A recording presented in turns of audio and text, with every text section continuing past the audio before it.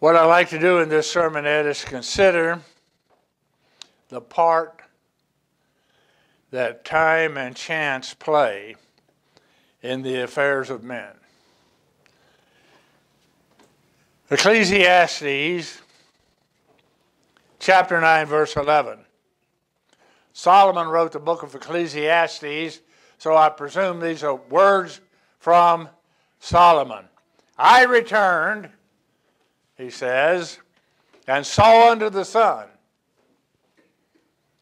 The race is not always, it doesn't put always in there, but, but that's implied. I returned and saw under the sun that the race is not always to the swift, nor the battle always to the strong. And if you think about in the times of maybe uh, these things were being written, there would be perhaps uh, wrestling competitions going on. So the strongest person didn't necessarily always win. And that's what's being inferred here. Just because you had the, the, the, the maximum talent doesn't mean that something else doesn't enter into the equation and uh, cause a different result. So the I saw under the sun. I mean that, that's pretty much universal, is what he's saying. Anywhere the sun shines, this can happen. The race is not necessarily to the swift, nor the battle to the strong. So we're talking here in terms of athletic things that happen in in uh, the lives of young people. Neither yet bread to the wise, at least not under the sun, not always bread necessarily to the wise. And you think if uh, somebody's wise, they're probably going to accumulate a little more than uh, those who are not. Nor yet riches to men of understanding nor yet favor to men of skill. But here's what enters in time and chance happens to them all. So that's expressed in terms that are familiar to athlete, athletes. Goals being short and uh, sought, whether in races, in wrestling, uh, in acquiring food and favor or the other things that are mentioned there. Diligence matters. Diligence matters. 2 Corinthians chapter 9 and verse 24. Don't you know, 2 Corinthians 9, verse 24, that they which run in a race they all run.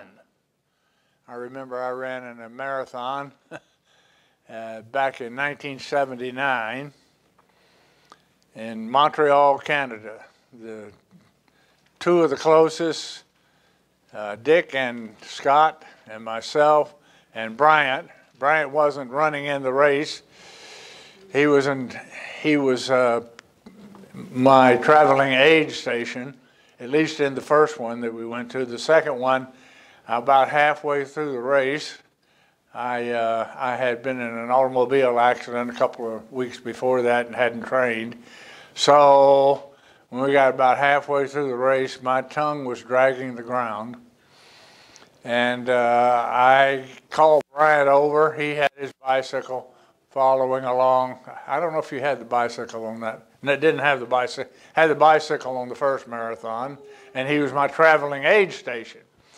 But on the second, uh, on the second uh, time in Montreal, which uh, was I think about 1983, he went along, and uh, so here at the halfway point, I was completely out of it because I hadn't been able to train for three weeks.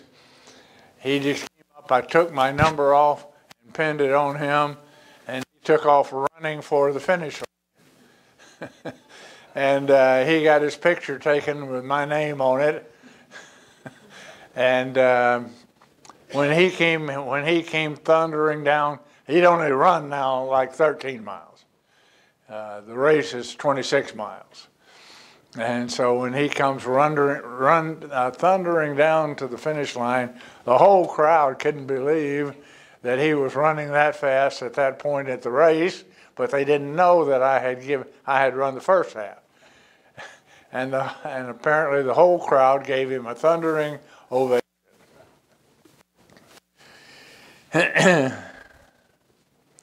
Diligence matters, and Bryant was very diligent as a runner. Don't you know that they which run in a race all run, but there's only, as they were looking at it in those days, there's only one first place finisher. So you run that you may obtain, and you do those things.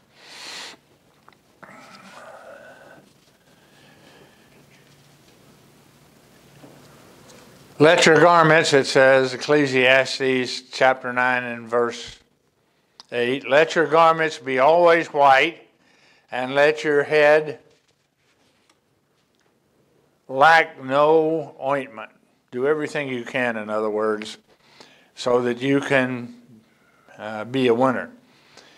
Verse 9 of chapter 9 Live joyfully with a wife whom you lovest and uh, for the most part, we've done that. All the days of your life, of your vanity, which he has given you under the sun, all the days of your vanity, for that is your portion in this life and in labor in the labor which you take under the sun. Whatsoever you, your hand finds to do, do it with your might, for there is no work, device, or knowledge or wisdom in the grave where you're going. So, Ecclesiastes 9, verse 11 I returned and saw under the sun that the race is not to the swift, not necessarily to the swift. And this minister, by the way, finally, I think it was the last time he raced this individual, won the race because he had not been able to run. The guy, the guy that always beat him had not been able to run because he was sick. And so he won first place. Time and chance happened to the guy that always beat him, and the, the, the race wasn't to the swiftest. the race was to the sec- went to the second swiftest. And the same happens in contests of strength. I'm just keeping it, not necessarily restricting it to um, things of this nature, but expressing it in things of this nature. Nor the battle to the strong, neither yet bread to the wise, nor yet riches to men of understanding, nor yet favor to men of skill. You see, all of the different varieties he put this into. He just starts off talking about those who run fast and those who are strong and how they normally would be winners, but they're not always because time and chance, it says here, to men of understanding, nor yet favor to men of skill, but time and chance happens to them all.